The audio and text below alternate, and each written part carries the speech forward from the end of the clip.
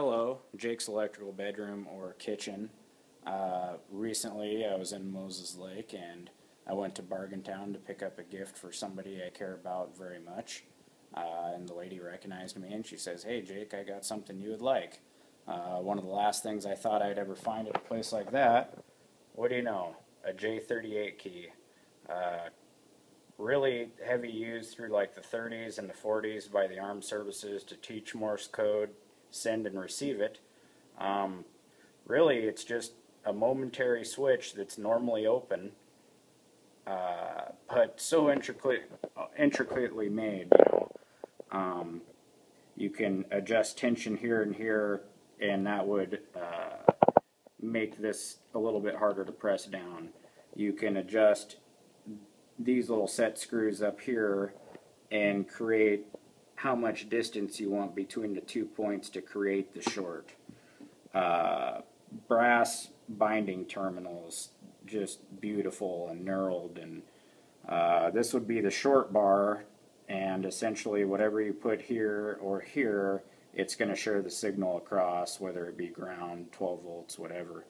Um, currently, I have it hooked up to where this is ground. When this is pressed down, it closes the ground and it goes up to this terminal right here, which goes out to the uh, little piezo buzzer uh, I got from my work. And then the 12 volt end of it is just hooked up to this ground bar, or well, bus bar, short bar, whatever they call it, uh, to my little power adapter right there that's just 12 volts at 200 milliamps. Uh, but then you also have this short bar, and it moves, and it just creates a constant. And I think probably the way it, it was, you know, designed, the way they had it set up, is I'm pretty sure that was so nothing got accidentally sent. But the way I have it hooked up, it doesn't work that way. Um, this is just a buzzer, not some kind of communications equipment. But anyway, I, I'd love to show you the operation of said machine. So, I gotta hold this down because it's not bolted. But when I press down on the key here, it creates a short, which makes the buzzer go off. And you can just sit here and just be Hello? Send bombers over here, right now. We need the bombers.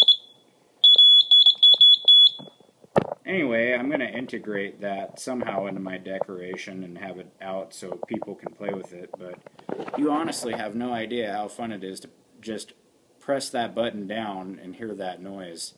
Uh, I'm not very easily entertained, but uh, that's very entertaining. I mean, you can just use your imagination and pretend you're sending coded messages to Germany or whatever you might be doing. But uh, it's addicting. I mean, it's it's like crystal meth pressing this button. It's just. I mean, I don't even know how to describe it. But you know, the, the only best way to do is just come over and play with it.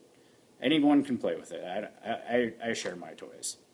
Uh, should have went to bed last night uh, I had very good advice on doing so, but I had all these parts and I was like, I got to put this together and play with it. The only problem that I had with it is uh, these two points right here, when I was pressing down, nothing was happening. And what I finally had figured out is that they just, over the years, got into a kind of like a corroded state. And so once I cleaned up the contacts, it worked worked amazing. So anyway, yeah, my J38 key, uh, my Westinghouse watt meter and amperes meter, and you know several other odds and ends. My my decorating style is kind of different, but you know I'm pretty freaking different myself. So anyway, you have a great night. Bye.